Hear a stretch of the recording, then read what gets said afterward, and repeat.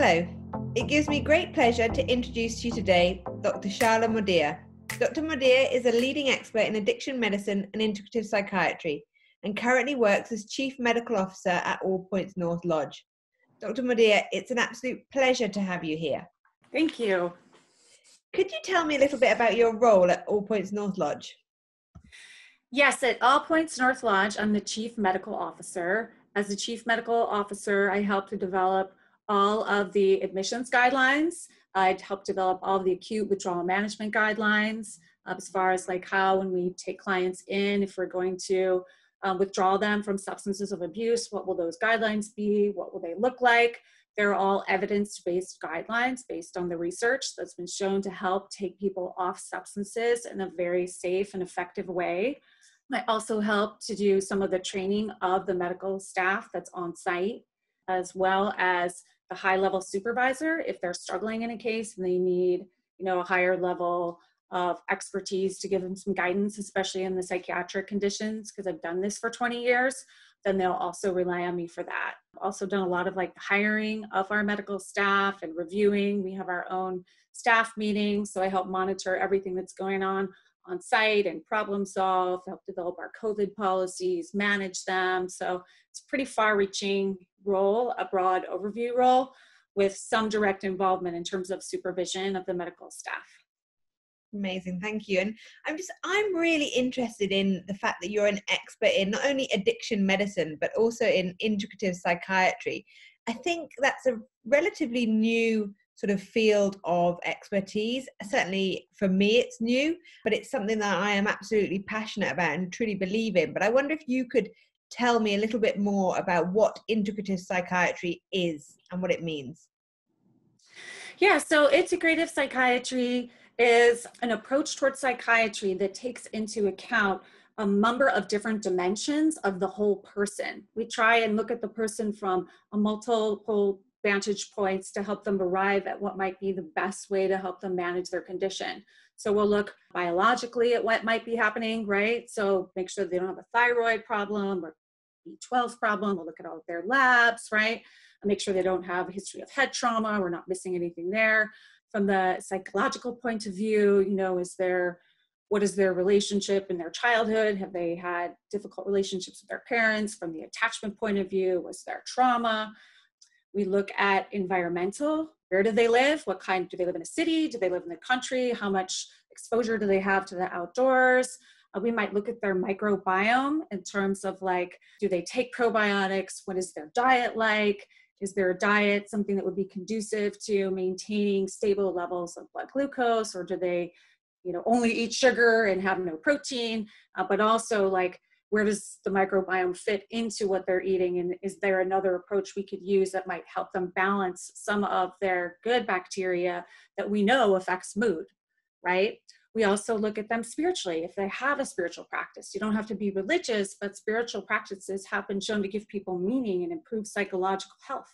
So we look at see if people have any spirituality in their life and under that domain you know would combine body approaches in terms of people learning meditation or breathing activities or yoga or tai chi finding ways to feel more connected and in their body. Because what we often find is that people are not in their bodies a lot they're in their mind a lot and that can be a huge problem where sometimes they're too in their body and they're so obsessed on their body that they're not in the environment anymore. So in that psycho social environmental nutritional and mind body approach we're able to kind of uncover where people might be stuck and address that from a number of different vantage points I honestly think it's fascinating, and I think in, in, especially in addiction recovery, you know, it's absolutely vital to look at all those points. And you sort of mentioned meditation and you know perhaps some sort of spiritual practice and that can i know that by doing something like that it can bring reduce levels of cortisol which obviously is the stress hormone and that can obviously have impact on your mental health and it's all so connected you know? I think it's really like really really fascinating. But anyway when we were deciding or when you were deciding on a topic to discuss today you came up with cannabis and the title of this presentation was the good the bad and the mad. Could you tell me what inspired this choice of topic? Yeah, because I think that cannabis is a very interesting plant and it has a number of different ways it can also be seen, right? So, you know, it's not all good and all bad. It's not like cocaine, you know, where you're like, you know, yeah, maybe you need an anesthetic, but the risk of harm is so high. Here, you have some so many different domains where it could be seen as something that's positive, something that creates addiction, and something that might actually, you know, cause psychosis or other mental disorders. So uh, I was trying to help people in this, we do a grand rounds talk at All Points North on this, understand the different domains. So the first domain we talk about is the good, and that's where we talk about, you know, how cannabis might help pain, how cannabidiol might help pain. In the bad, we talk about addiction, um, adolescent use that can lead to you know people having like decreases in their iq or can predispose them to other psychiatric disorders what the addiction rates are how they co-occur with so many other addictions. And then the mad is just a little bit more of a focus on psychosis and how cannabis can be connected and correlated to higher rates of psychosis especially with increasing levels of thc I mean, there are some so many different right now, especially it's such a hot topic because obviously, I mean, I've from what I've heard, you know, when I was growing up, that it was the sort of the gateway drug. If you smoke weed, you know, you're going to end up on harder drugs and blah blah blah. And that's often, you know, it possibly even was, you know, my experience in in a way. But at the same time, now as I've got older and in today's modern world really you know we see so much about cbd oil and we see about you know as you said cannabis for pain and from the little research i've done i've also heard that you know the cannabinoid system is the widest reaching system in the body like wider than the nervous system and stuff and it can actually really help so if you take sort of cbd oil and i don't know about cannabis itself as as a as a plant smoke or or in any other way but certainly the oil, CBD oil that everyone seems to be using these days, it can really help pain. I mean, do you think that that is right? Yeah, so I think there's a lot of newer information that's coming out about CBD. So in the cannabis plant, there's like two major ingredients. One is delta 9 THC, and that's the part of the drug that exerts the psychoactive effect.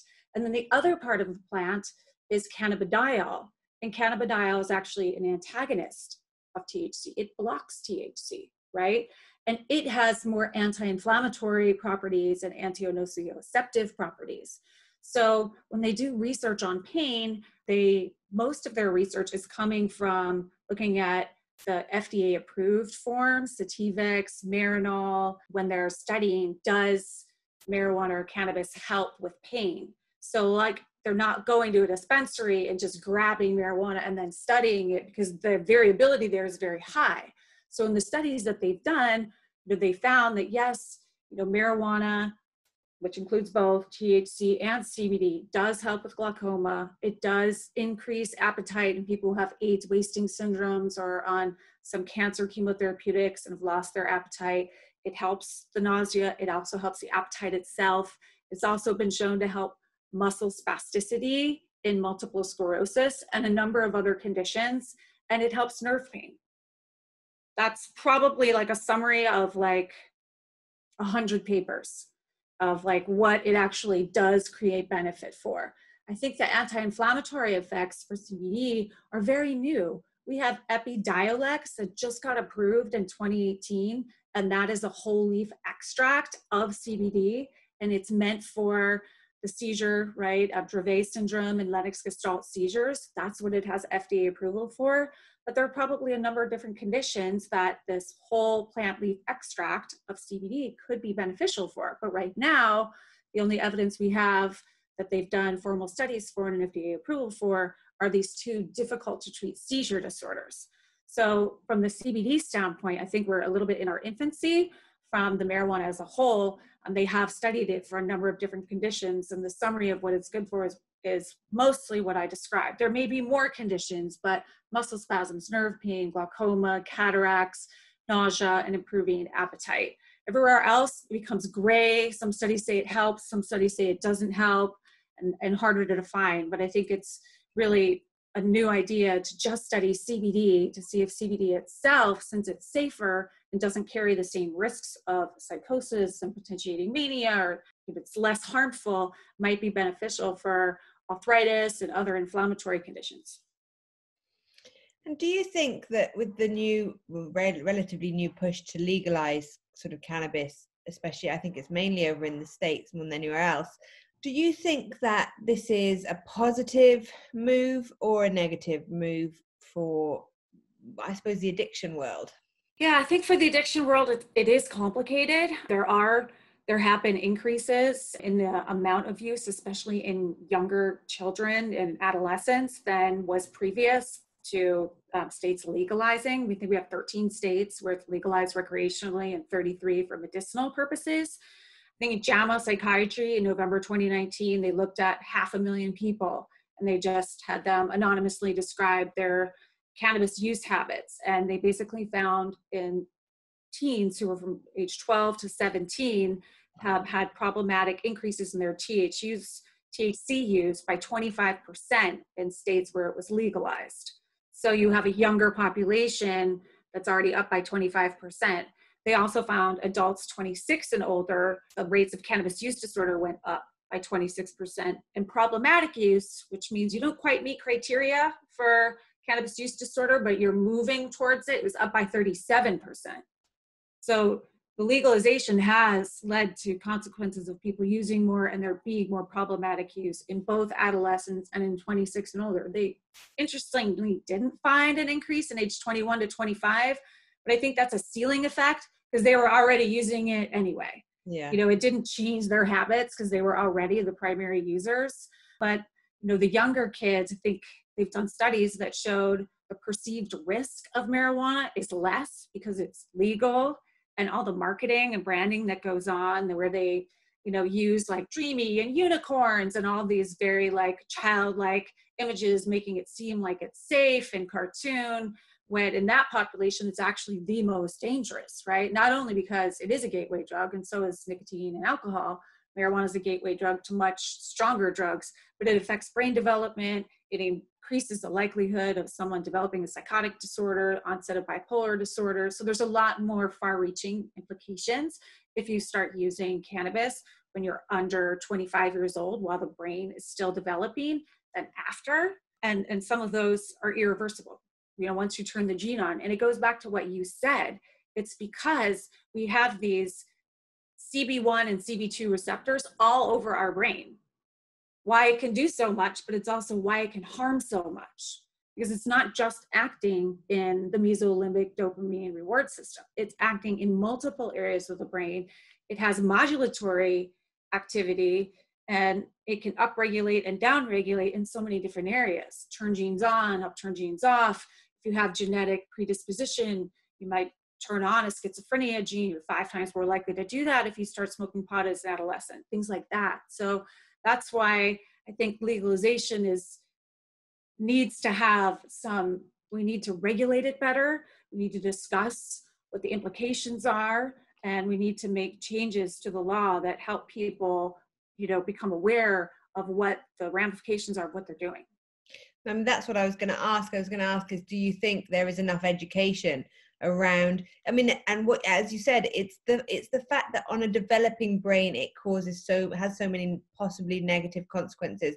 And i don't think that the general public are aware of that. I mean cannabis use is you know from the age of about 12 to sort of 18 it's a rite of passage isn't it? It's just a normal thing that people do.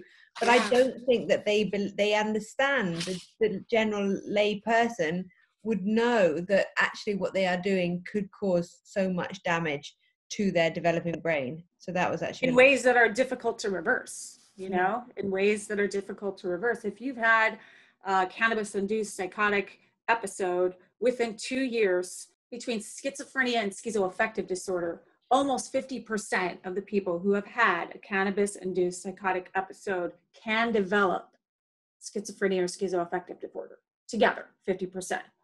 27% for one and then you know a little less for the other.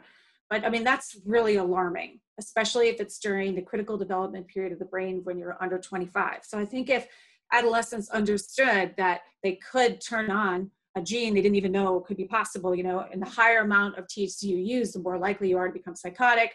Does if you have a family history of schizophrenia you're more likely to turn that gene on.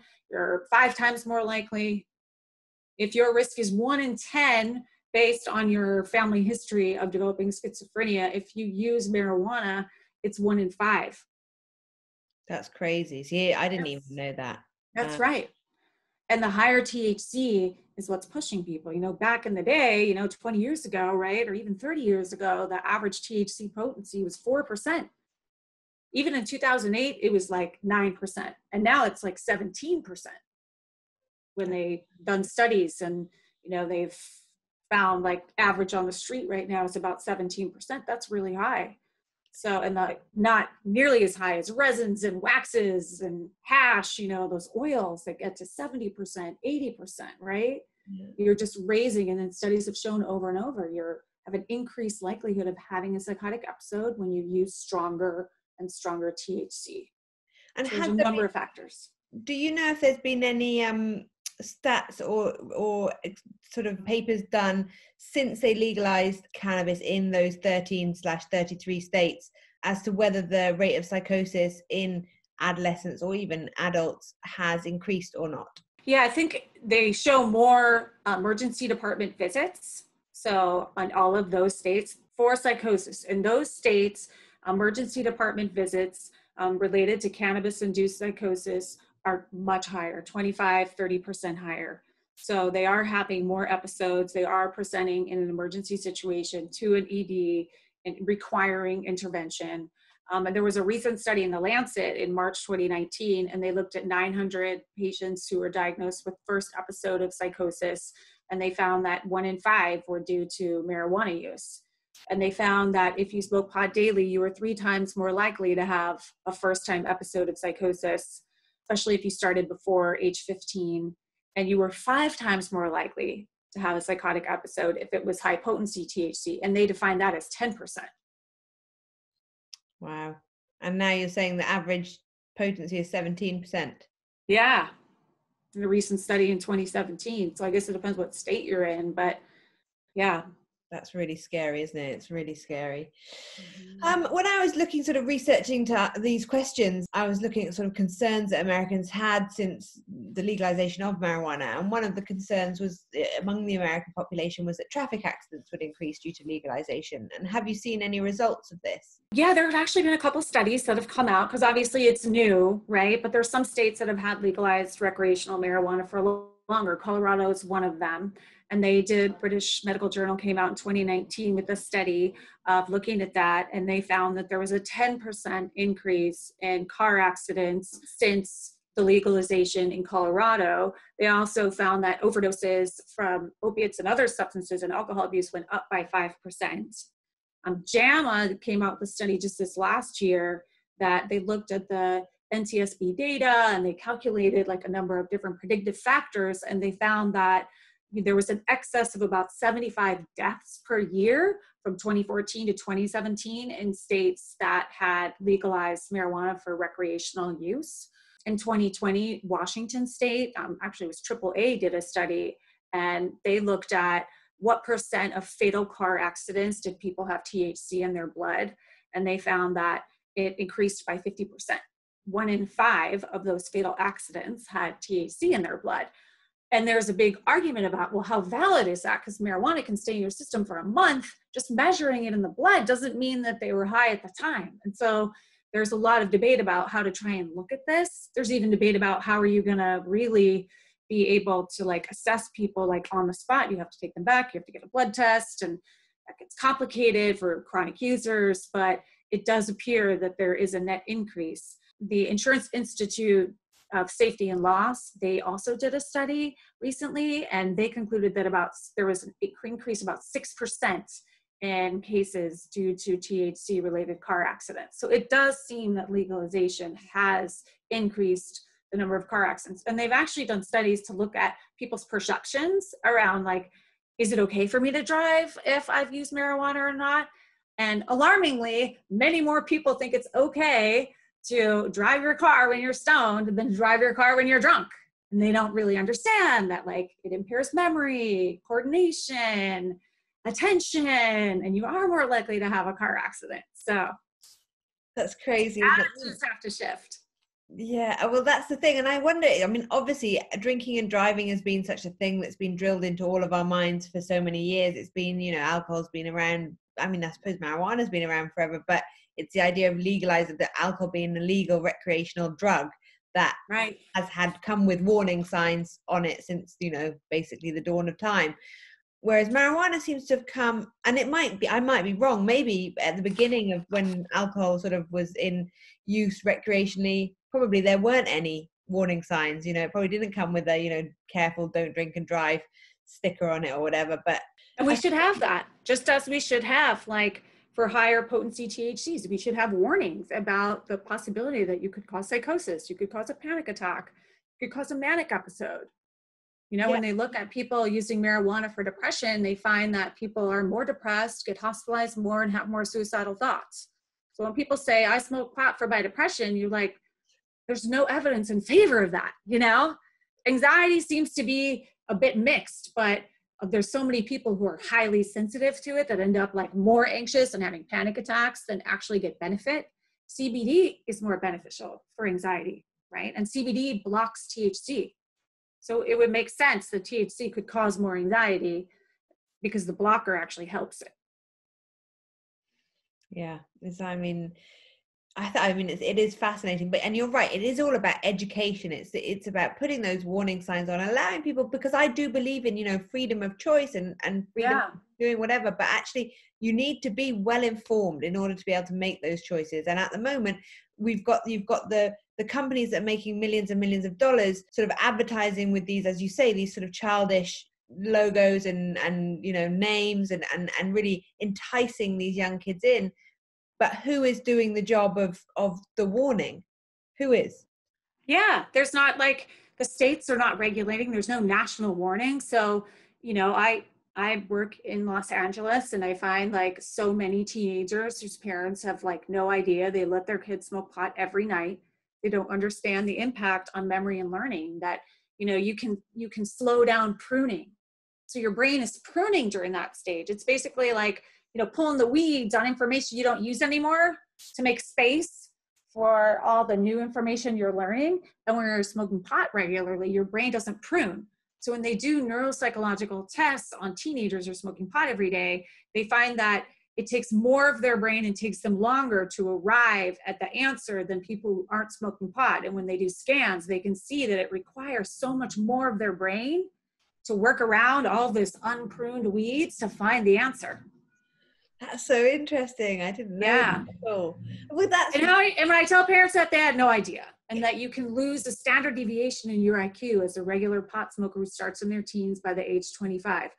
They have no idea the incidence raised in the incidence of schizophrenia, psychosis, bipolar, they have no idea that you're, it does cause sensitization of the dopamine pathway. It does cause cross tolerance so that people will, the teenagers will seek out more reward. You're more likely to seek out cocaine and other drugs because you are sensitizing and priming the reward center for more reward. That's, that's known and understood. It's also true for nicotine I'm not saying it's just cannabis, but it's not not cannabis the way people like to say there is no gateway. That's not true. It's just not unique to cannabis alone. Would you say then, and we were talking about so gateways, and you're saying you, they're more likely to seek out cocaine, and do you think there's a link between marijuana and opiate use then? There's also a link between marijuana and opiate use, and there are a lot of people who thought that you know if we legalized cannabis, especially for pain, that we would have a reduction in the amount of opiates being used, right? Here's a new way to treat pain that won't kill you. And it's has it's got some mixed data that is moving towards the idea that it's not really a substitution drug, it's a companion drug. That's kind of what the evidence is starting to show. I think a few years ago, they were doing studies and they showed that the number of opiate pills prescribed in states where there was legalized marijuana went down. So there were like 2 million less Vicodin pills out there when there was legalization. And in the beginning, they thought, like way back in like 2014 or 15, there was some reduction in the number of overdoses. And now, then they pull the data out. Are there less overdoses in states where people have legalized marijuana? No, there's not. There's more. Mm. So when they pull the data out to 2018, in states where their marijuana is legalized, there are more drug overdoses, not less. And if, if less pills were to lead to less overdoses, that should not be the case. They've also done a study, uh, they looked at 43,000 people from 2001 to 2005. If they were smoking marijuana at their initial interview, and these were people who had chronic pain and were on opiates, they found that you had 2.2 times the odds ratio likelihood of abusing your opiates by 2005 if you were a pot smoker. They also showed that you had 2.6 increase in the odds of becoming an opiate person who had an opiate use disorder. So if you were smoking pot at your baseline and you're on opiates, you were twice as likely to become uh, someone who became addicted to opiates, two times the risk. So there's a lot of evidence kind of mounting. And then they just did a study in like 2018 that looked at chronic non-cancer pain and people who, who are on opiates for their pain and were given access to, um, to marijuana in states where it was legal. And they found they were more likely to abuse their opiate pain pill prescriptions, not less likely. And that's kind of why I say it's more likely to be a companion drug and not a substitute. But you know, we're still trying to tease out the data. What looked like it was initially beneficial as we played it out more and more studies has been looking more like no people are more likely to just abuse both. Yeah and to be honest i mean if we looked at you know you look at historical sort of data with i don't know methadone for example i mean it, it, certainly in the uk i used to work in a methadone clinic and i know that all the guys who came in or guys and girls came in for that for them for their prescription they would use them side by side. They would the meth would be the free the thing that they got off the government for free, and then they would go and use the street heroin that they would go and then buy, and they would just be able to save some money and not have to buy double the amount of heroin because they got it for free on the state. And I suppose in a way that's probably what could be happening with with marijuana. They and that's why the pills went go down, the Vicodin goes down because they're prescribing marijuana instead of Vicodin, but that doesn't stop you know the same amount of street drugs are going to be bought if not more, or at least def- possibly more because they're not getting the Vicodin, so they still want that. So they're doubling that on the street. So yeah, overdose rates are just they're only going higher. You know, it's 67, 68,000 people, they're not they're not less. So the hope that it was going to be like a substitution drug for pain and decrease the amount of people who were abusing opiates or had overdoses so far in more recent data has not played out to be true. It just seems to be this people who are going to abuse opiates already abuse cannabis and now is I, I, I think I know the answer to this, but but the audience and whoever's watching this, is CBD then completely different? We're talking about something that is totally and utterly. When we're talking about marijuana being a, a, a not such an effective or use of uh, or medicinal drug because it becomes a companion drug and you know or, or a gateway drug, CBD on the other hand is that something as I said beneficial and potentially effective and helpful yeah, and, and it's not to say that marijuana isn't helpful. It's helpful for muscle spasms, increasing appetite and wasting. It's helpful for glaucoma, right? But it carries risks that have to be weighed that are greater than for cannabidiol.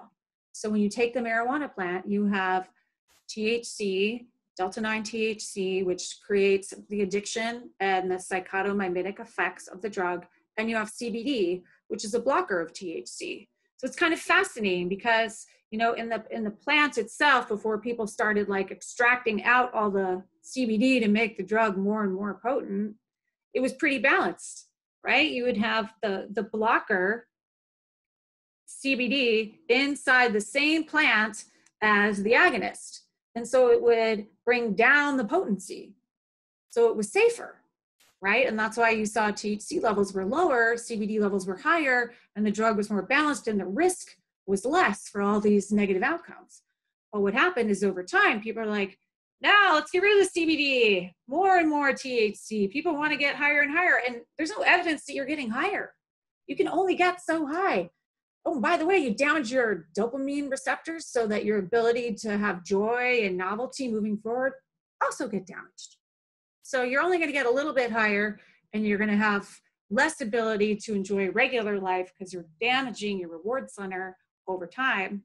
And CBD, which is the blocker, has been shown to help with anxiety. It has antipsychotic effects, which makes sense because if THC causes psychosis, blocking it, right, and all the mechanisms in the endocannabinoid system can help improve psychosis. And that's true at very high doses. Multiple studies, CBD has been shown to have antipsychotic activity.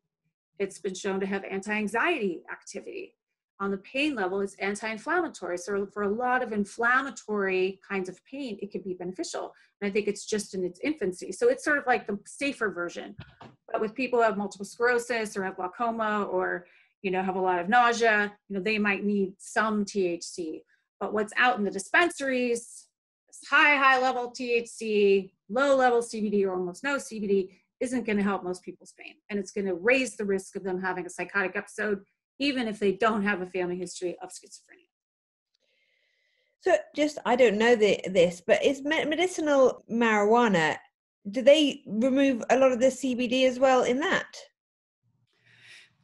Well, yeah. I mean, it's it just you can go to the dispensary and and it just depends what you're getting. If you're going with what the FDA has, the FDA has Marinol and Cesamet, and they control the amount of THC, and so every single pill has the same amount, right? But it's not from the plant, so nobody's extracting anything. It's it's really just THC in the form of a medical you know medical form of it that's standardized epidiolex is the whole plant extract of cbd right? And I feel like that's kind of at its infancy. And there you know what you're getting because it's standardized and it's an extract that is routine. Out there in the dispensaries, you, you have to believe them when they tell you there's this much THC or this much CBD. And now they have to be pain experts and say, well, you know, CBD will help this kind of pain, but not that kind of pain. Marijuana is not really going to help your this kind of pain or that pain. And what's the reality is that they're not pain doctors and they don't know what the evidence shows. So they might give you a really high form of high potency form of THC and tell you you need that. But actually you need low. It's 4% helps muscle spasticity. 4%. You don't need 17% to help muscle spasms. You need 4 to 6%. And why so why are they telling people that they need really high? Is that because it's more expensive? It's more expensive because they have to extract it they're hybrids. It's more likely to create addiction and then now that you have addiction you have people coming back more. And to some degree they don't even know because they're not pain doctors. They just work at a dispenser and they're probably high themselves. Dude you should really try this. Right? It's terrible it's so scary. It is. There's so much misinformation because there's not a standardized way of approaching it. I got a prescription, so I'm going to get this. But really, you walk in there and get whatever you want. But why don't they make it like standard? I don't understand. Why don't they make it standardized? Well, I guess because it started as compassionate use, right? The compassionate use law, you know, for glaucoma, for nausea, for HIV wasting, you know, started way back in early 2000. And so it was like, well, no one had really done, and also because we made it a Schedule One drug, we were not really studying it except at very specific institutes because schedule one drugs have no medicinal use. And so therefore it slowed down the amount of research that was done on it in a way that could be beneficial to people. Like even cbd you know in 2018 hemp i think it was 2018 or 2019 hemp was made you know was brought down from schedule one. So that's why you see cbd you know at cvs at the regular pharmacy but before that, you couldn't use hemp to derive CBD because it was considered Schedule One. It was the Farm Bill that passed in 2018 that they put in there that hemp be taken off of Schedule One so that they could use hemp to make CBD so that people could use it generally.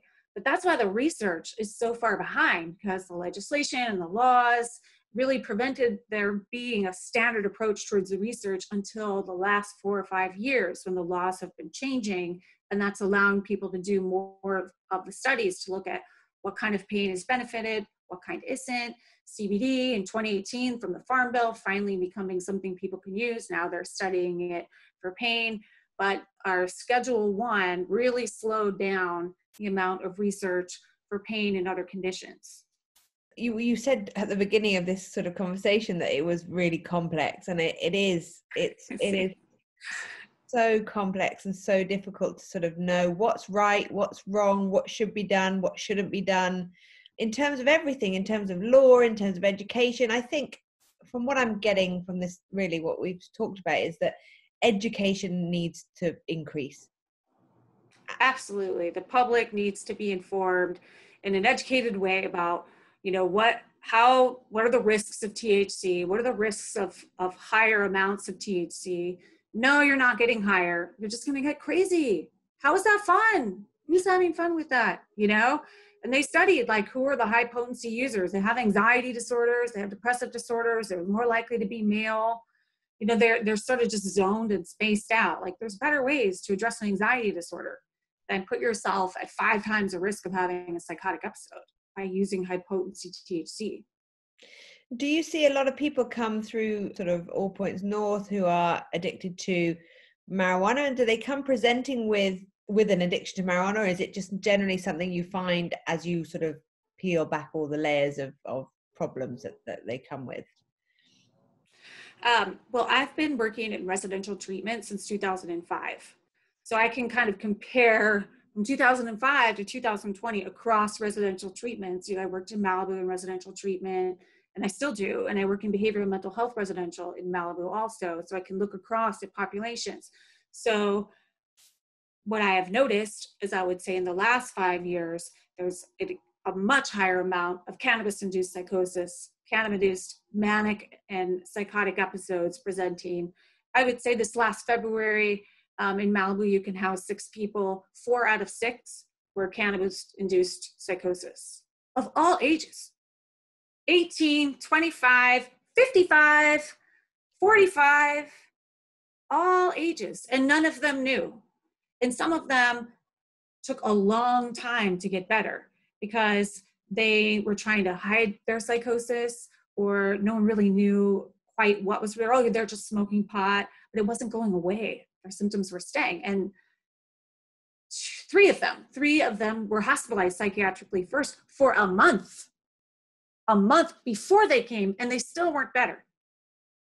I got them all better because I've done it for so long and I've had to treat so much cannabis induced psychosis. It is the longer you leave it, it's harder to treat. It takes longer to treat in a lot of cases if you're showing up at residential. Maybe if you show up in an emergency room and it's very early onset and you just smoked a little weed and you got paranoid for a minute, but these are people who in for a month or two months or three months and they were resisting going to the hospital. They just wanted to keep smoking pot.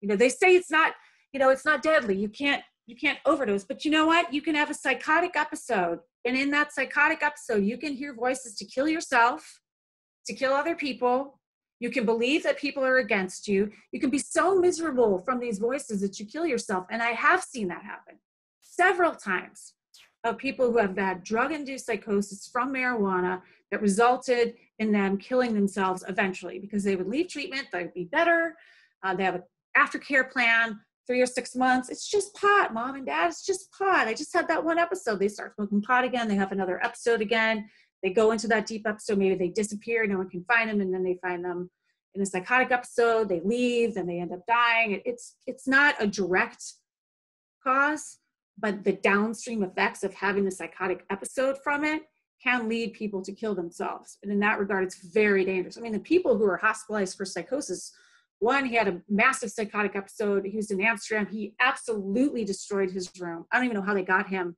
back there but he's you know throwing things, breaking things. I mean, these are this is dangerous, right? It's not minor.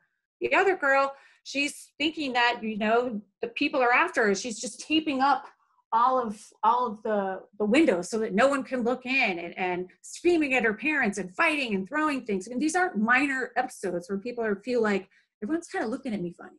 No, these are very serious episodes with ramifications that can lead to death if they're not intervened on. So while marijuana itself might not cause you to die, if it gives you multiple psychotic episodes, if you get schizophrenia because you turn the gene on two years later, then secondarily you could raise your risk of death.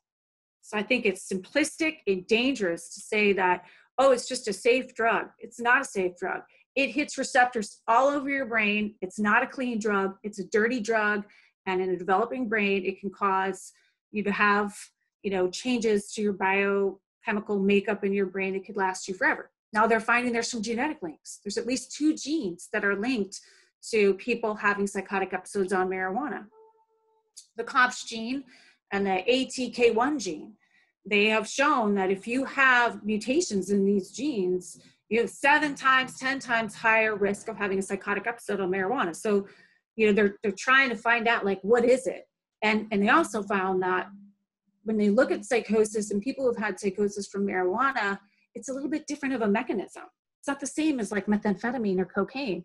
Different areas of the brain are involved, which is interesting. And that's like what leads back to what you said, because it affects so many different receptors. You have cannabinoid receptors all over your brain. They're not just in the reward system.